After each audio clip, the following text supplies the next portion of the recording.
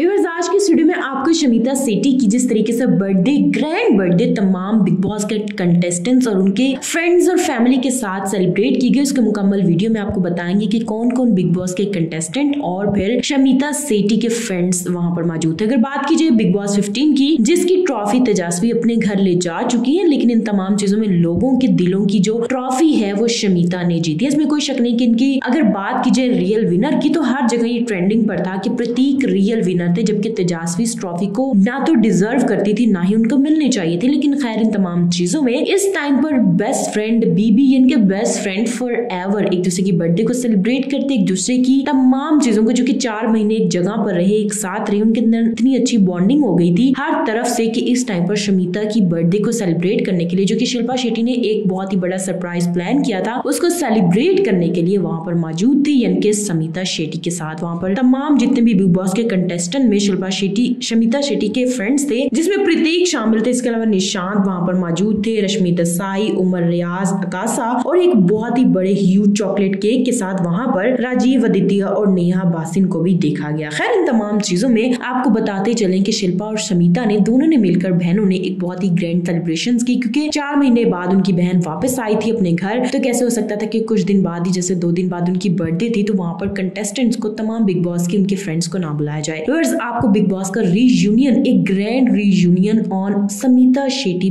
birthday कैसा लगा हमें कमेंट सेक्शन में बताना मत भूलिएगा अपना ढेर सारा ख्याल रखिएगा। बड़ा केक